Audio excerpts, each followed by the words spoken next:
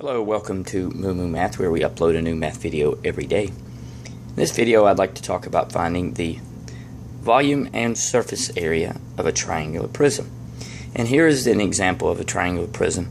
And if you'll notice, in this triangular prism, it's easy to see. We have a triangular base here, and then we have a triangular base at the top. Now, many times you will see these, and instead of resting on the triangle base, it will be drawn more like a ramp and this rectangular shape will be the base and it will look like the triangles are the sides but in fact the triangles will be the base. Now the formula for volume is equal to one half the base times the height of the prism. And since this is a triangle what you can use to find the base area is 1 half base times the height. And it is the height of the triangle. And um, I'll get to that in just a second. But remember, the height of the triangle is a line drawn from the apex to the base that is perpendicular. So let's go ahead and plug in some numbers. Um, also, let me point out I've kind of drawn another triangle here to help you see the dimensions of the triangle base because it's kind of hard to see.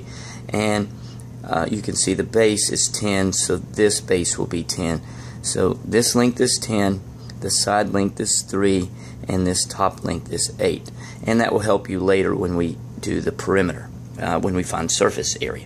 So let's go ahead and plug in some numbers. So volume is equal to 1 half the base length of the triangle which is 10. You can see I've redrawn it, which is 10 times the height of the pyramid. Okay, and the height of the pyramid is given, and you can barely see it. It is 2. And then we multiply that by the height of the prism, which is 6, which is the distance between these two bases, times 6.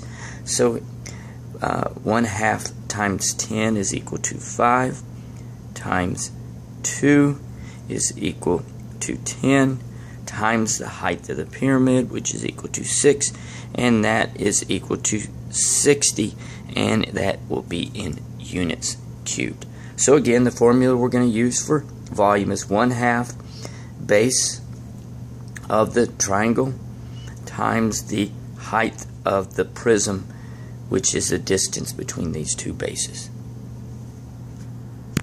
let's try to tackle the surface area.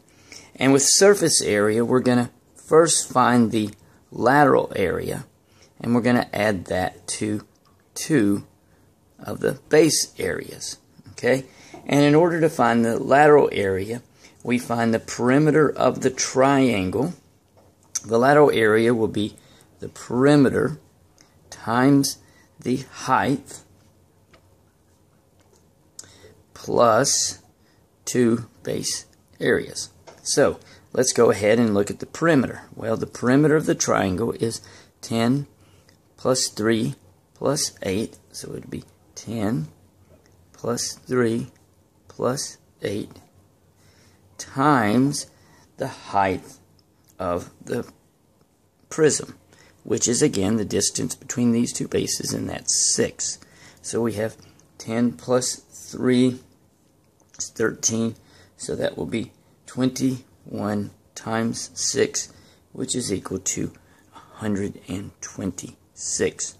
So that is our lateral area. Okay? Equals lateral area. Now we need to find two base areas. And the base area, the formula for that is 1 half the base times the height.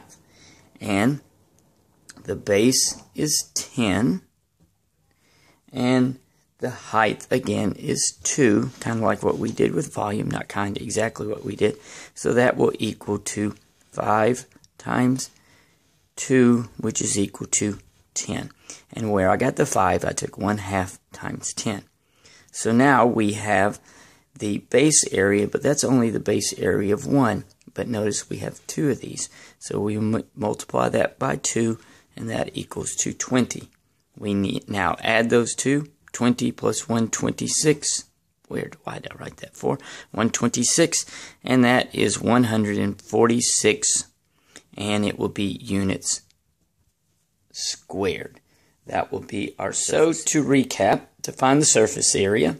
We took the lateral area by taking the perimeter of 10 plus 3 plus 8 times the height of the prism, which was 6, and we added that to two base areas, and we found that by taking the base area 1 half the base of 10 times the height of this triangle. Hope this helped. Moo Math uploads a new math video every day. Please subscribe and share.